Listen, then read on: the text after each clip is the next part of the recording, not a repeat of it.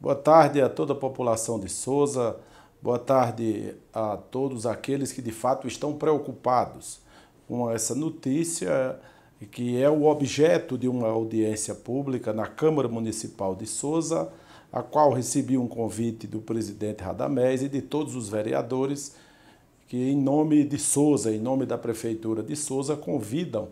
para participar de uma audiência pública onde será eh, debatido a questão da atual situação do Centro Cultural Banco do Nordeste na cidade de Souza. Quando recebi o comunicado, a população de Souza estava preocupada que, com a ameaça, conversas espalhadas em redes sociais e na própria cidade, que, que havia a intenção do Banco do Nordeste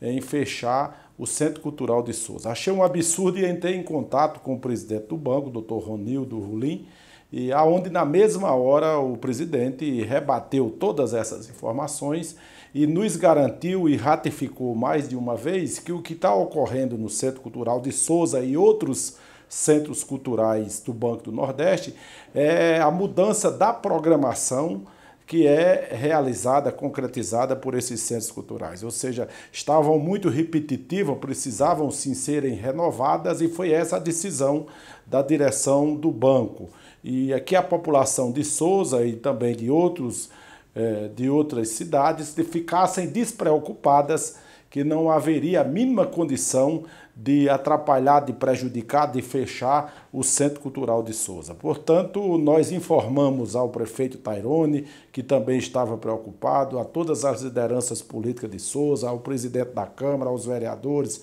ao ex-prefeito João Estrela, ao vice-prefeito Zenildo, ao, ao, ao, deputado Lindolfo, que essa preocupação não existe. O compromisso do banco, pelo contrário, é de fortalecer o centro cultural, de renovar a programação e, com isso, atender a todo o setor cultural de Souza e também de toda a região. Nós ficamos gratos com isso, já comunicamos à própria população de Souza, através do prefeito e as demais lideranças políticas, que essa preocupação uh, não existia, ou seja, não, que essa decisão não existia de prejudicar o Centro Cultural de Souza. Portanto, nós agradecemos muito. E hoje na cidade de Souza, eu digo até na próxima sexta-feira, amanhã, terá uma audiência pública onde será debatido esse assunto com todo o Centro Cultural de Souza e me antecipo em ratificar aquilo que me garantiu o presidente do Banco do Nordeste, o doutor Ronildo Rulim, que na verdade irá sim fortalecer o Centro Cultural e não prejudicar o Centro Cultural. Então, parabéns a Souza e parabéns à própria população por se mobilizarem em qualquer ameaça de qualquer ponto que na verdade prejudica a cultura de Souza, a população está atenta e com isso se mobilizando. E ao lado deles nós estamos não só para fortalecer a cultura e outras ações